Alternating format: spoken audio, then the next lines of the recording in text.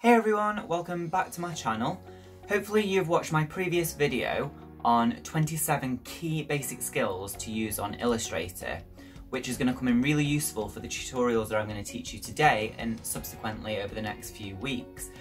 Today I'm going to focus on cords, aglets and eyelets, which is a key component if you're drawing say hoodies or coach jackets or any kind of thing that has a cord on it. Okay, let's get started. The first thing I'm going to do is draw a simple line. So I just click my first point and my second. And then I swap my fill so you can actually see a line. Here I go to my stroke tool and make the stroke larger. From here I click the round cap tool.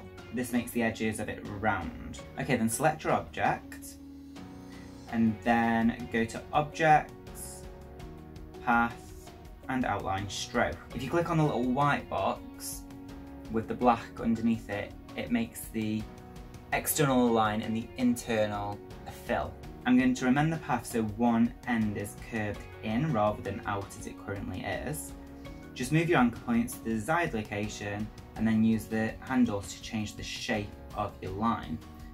Now I'm going to draw a line over my object and making sure that the edges of my line go over the edges of my object. So select both your objects and from here go to the Pathfinder and then click the divide button. The edges of the first line have gone. Here I'm using the Ellipse tool to draw a circle and I'm going to copy and paste it. So now I'm selecting all of them and now I'm going to go to my align tool and click align horizontally and then I click my vertical distribution and it spaces them out for me. Now select your object and go to the gradient tool and now I'm going to select the circles and change these to a radial gradient. So if you just click linear, radial's there and it just changes the look of it. I think this makes it look a bit more metallic. Now this component is done. Now I'm going to show you how to draw an eyelet. So eyelets are really easy to draw. First go to your ellipse tool and then draw a circle. Again, covered in my previous skills tutorial. Select your circle and go to Objects, Path, and Offset Path. This brings up a box. Click Preview so you can see what you're doing. And as you can see, this now added a bigger circle to your original one. I want it smaller, so I put a minus on it. and then I just play with the scale of how big I want the internal circle. So here I'm just changing it to the perfect size. I'm going to go with 5 and highlight both of them.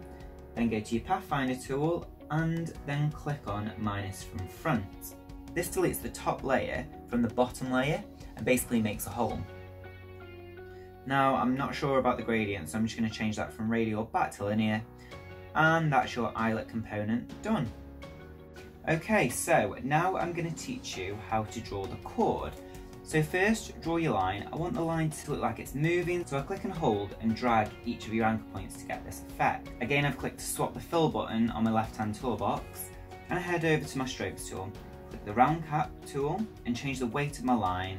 Then select your line and go to the objects, path, and then outline stroke. Click the default fill and stroke button and now you have an outline shape. From here we want the cord to look a bit more like a woven cord.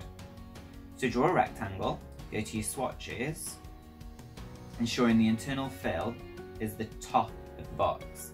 I'm going to go for grey right now. From here select your box and go to Object, Pattern, Make. This brings up a new box. This is a really useful tool and I'll show you how to use it in a more in-depth advanced video that I'm going to do later on. Click the drop down arrow and change the tile type to brick by row and click out. Now open your swatch and you have a new fill in there. Click your object you want filling and make sure the internal is on top of your fill item. And now your fill has gone in to your cord. Now I don't like how the fill is positioned and I don't like the size. So, first of all, click your rotate tool Hover over your object and hold down the tilde key. This rotates the fill, but not the outside lines. If you click shift and tilde, this will rotate it in 45 degree angles. So now the scale is too big, I want it smaller. So, like the rotate tool, go to your scale tool, hover over the object and hold down the tilde key. Again, clicking shift and tilde will scale and fill the object proportionally. Unfortunately, scaling the fill also scales the external line. So ensure you go back and change that before you finish. Now copy and paste your components and place them and scale them as you want them, sending certain items to the back for a more realistic look. Now you have a full cord, an eyelet and aglet to use on any different garment. It can be used on coats, jackets, hoodies and sweats. And that's it. That's the first trim done. Now I know we're all really busy and if you don't have time to draw this, as I've said before, I've opened an Etsy shop where you can go and download the file with not just the cord and aglet, but also the buttons and all the other trims and details that I've used and created for this tutorial. If you like this video, give it a big thumbs up and click that beautiful red subscribe button. And also follow me on social media like Instagram, Twitter and Facebook. If you've got any comments, leave them in the comments section below. Alright, that's it. Tra, tra, tra, tra. Bye.